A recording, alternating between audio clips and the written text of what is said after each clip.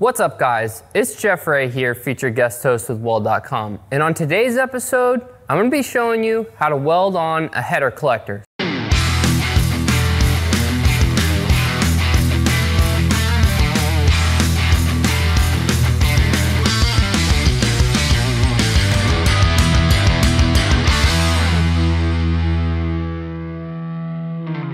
Here in front of me, we have one of the headers to this Ford Bronco that I have here. What we're gonna be doing is welding this four into one collector to this set of headers. As you can see, the only place you have to weld is around the outside here. So what I'm gonna be doing is showing you how to weld the star piece into all four pieces of tubing.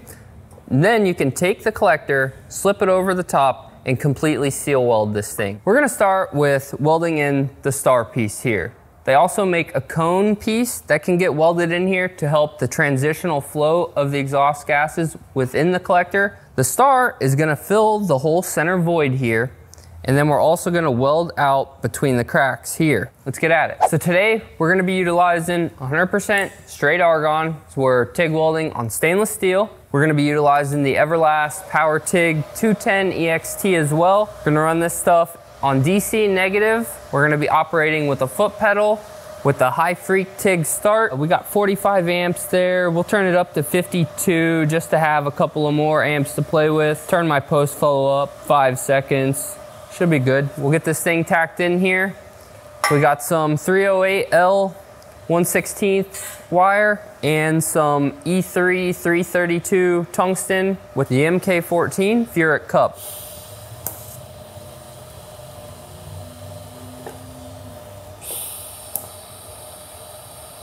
Now, we just gotta get this thing completely welded out and then we'll be ready to mock it up on the Bronco here and get the collector tacked on there.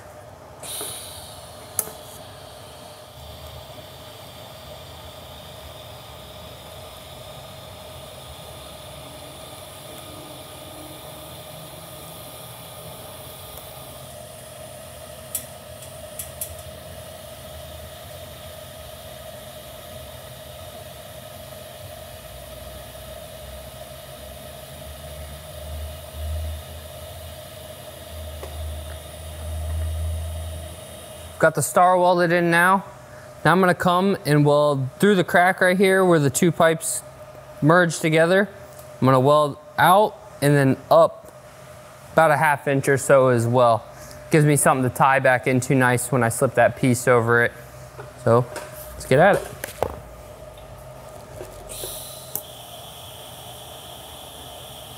So when I'm doing this, I'm using a thicker piece of wire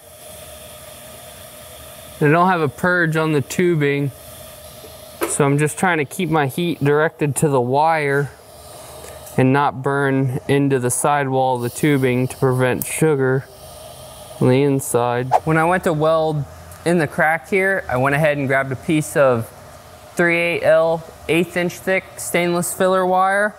That way it's easier to fill that gap and I wanna bring it as close to the surface as I can because that collector piece is gonna be higher up, not so far down in that corner. As well as the thicker material will help me keep the heat out of the tubing and doesn't allow me to sugar it when I'm putting that little bit of material in there. I'm trying to keep it on the actual piece of material and not try to burn through the tubing. So now that we've got the welds done, we're gonna take the header from the bench and we're gonna put it on the truck to check the fit and mock up the header collector. Now I'm gonna take the collector, mock it up on the exhaust to the header itself and see how that fits. Before I got all these pieces of pipe fit to this point, I had to start somewhere. I had to start with the header flange and all this material, which I got from Stainless Headers. This is a full kit, comes with all the stub out pieces off of the header flange, comes with about a dozen 180 degree bends, the collector itself, the star for the merge and everything. So essentially, we wanted this to come out of the fender here and then the exhaust to run down the side. So what I did was I mocked up where I'm gonna have the exhaust located. I took a clamp, welded it to my stand here, which can hold my pipe and I can rotate it within that clamp.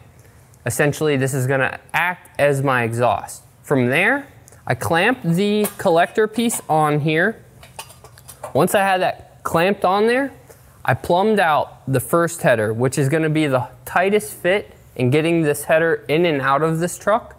So I plumbed that one first and tacked it off here. Made sure I was able to get this header in and out. I did have to remove the one shock absorber here uh, in the perch as well.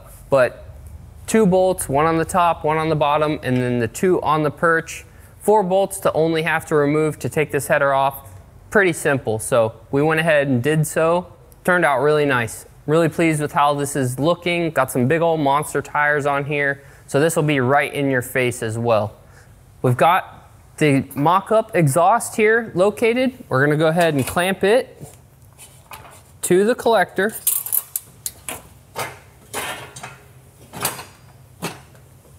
Kick it around a little bit, get it in the right spot there. Now, we should be able to tack this thing off, completely seal weld it out 100%, and we have ourselves a header for a 429 big block Ford and this old Bronco here. Let's get this thing tacked and get it welded out.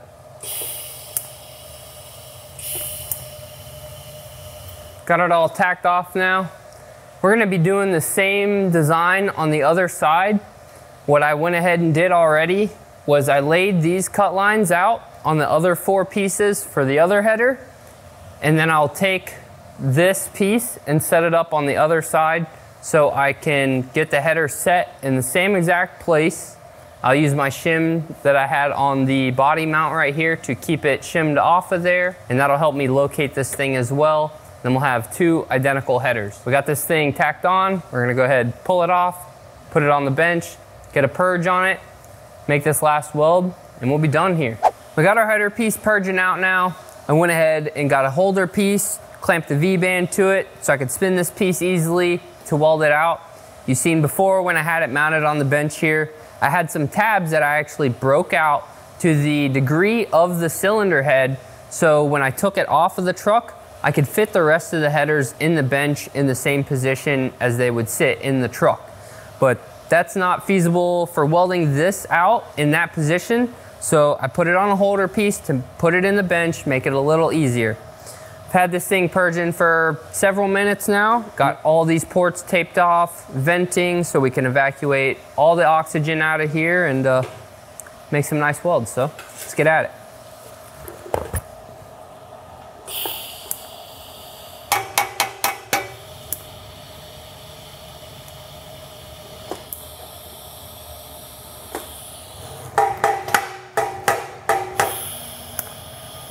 All right, so we've got this thing tacked off. It's ready to be welded out now.